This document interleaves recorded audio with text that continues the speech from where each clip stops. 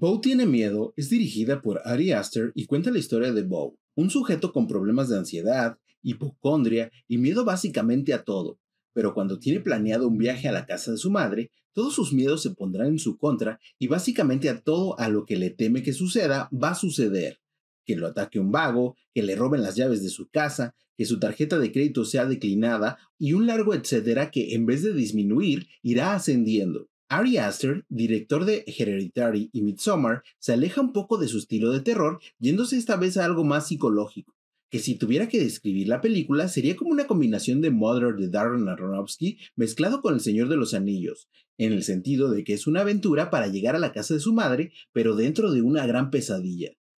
La película es desesperante y lo digo con la mejor intención, ya que estoy seguro que ese era el propósito del director, hacer sentir al espectador la ansiedad de su personaje, una sensación como cuando tienes un sueño y por más que quieras retomar el control no puedes. De Joaquín Phoenix está de más decir que está magnífico como siempre, y además quiero resaltar la excelente actuación de Patty LuPone como la madre de Bo. Mi queja con esta película es su larga duración en la que después de meditar acerca de sus largas escenas, bien se pudo reducir a una película de dos horas sin perder su esencia. En conclusión, Bo tiene miedo es una película en la que si conectas, ya sea por su contenido, por ser fan del director o porque simplemente te atrapó, vas a disfrutar de esta desesperante película en la que al final de cuentas la intención del director es hacerte sentir la ansiedad y el miedo del personaje, y en eso sí cumple su propósito. Pero si por otro lado no es tu estilo de película o no conectaste, la vas a terminar odiando.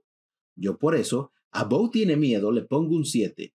como siempre, los invito a escribir en los comentarios qué les pareció esta película y no olviden suscribirse para más contenido de la cultura pop. Hasta la próxima.